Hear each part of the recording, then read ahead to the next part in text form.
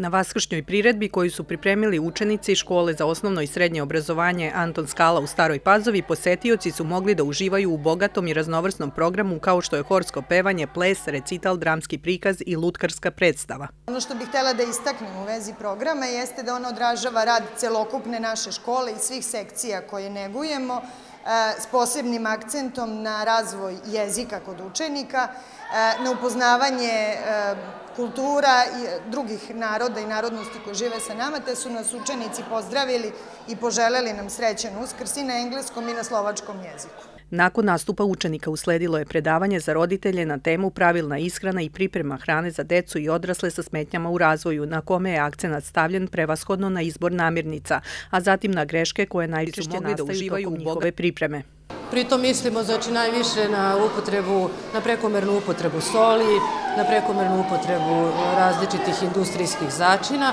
i na pred našim predavanjem uglavnom govorimo kako da se pripreme e, začini od biljaka, biljni začini koje uvek možemo da nađemo i u prodavnicama zdrave hrane i u našim baštama. Deo programa je bila i kreativna radionica gde su ovom prilikom učenici zajedno sa roditeljima ukrašavali uskršnja jaja, a inače đaci tokom čitave godine imaju radionice koje su od velikog značaja za njihov razvoj. To nije bitno da je savršeno lepo nekom, ali njima je od velikog značaja jer su oni to sami uspeli uz minimalnu našu pomoć. Drugo, motorika Kod njih, to je osnov za bilo koji rad kod nas u školi, e,